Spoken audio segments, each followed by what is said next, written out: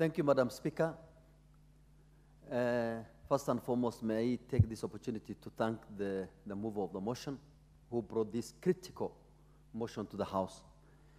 The issue we are discussing here is extremely, extremely, extremely timely. Right now, as we speak, people are, have been moved from their houses and become IDPs in their own country. Roads are blocked. In the 21st century, right now, vehicles from Nairobi cannot reach Mandera, cannot reach Wajir, cannot reach Dadaab and Ijara. It's extremely very unfortunate.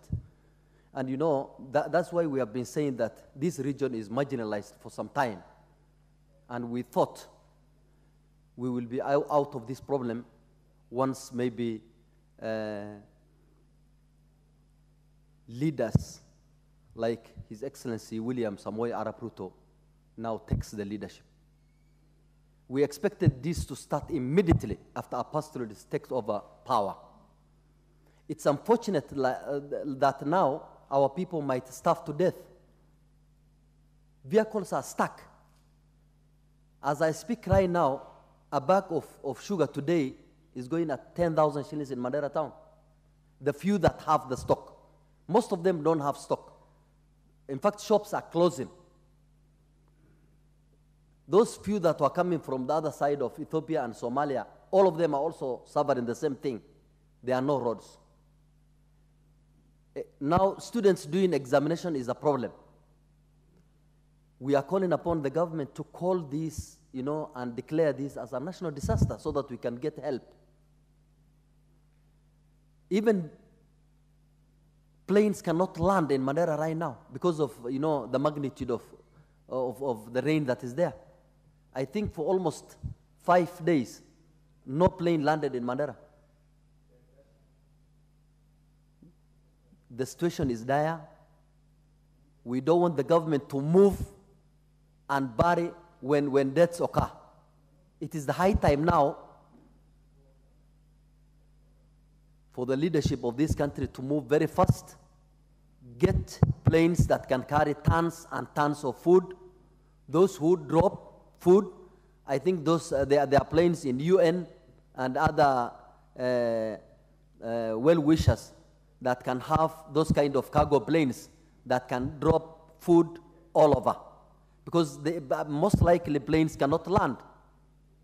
It's unfortunate that we are discussing this kind of thing in the 21st century. You know, once the president declares this as a national disaster, donors from all over the world will move in and our people will get help. We also need the government to take people out of these, you know, uh, risky places where floods come during the night while they're in a sleep. Take them to, you know, higher places and, you know, treat them as IDPs. Once we do that, we'll be better off. In Mandera right now, Mandera is a headquarter of Mandera County. Unfortunately, for the last five days, there is no power at all. No one can be taken to ICU. There is no oxygen. You know, you can understand the risk. Once that happens, Mandera General Hospital right now, as we speak, there is no power. The whole town is in darkness. The problem is not the way maybe our leadership are taking. The problem is extremely very big and dire.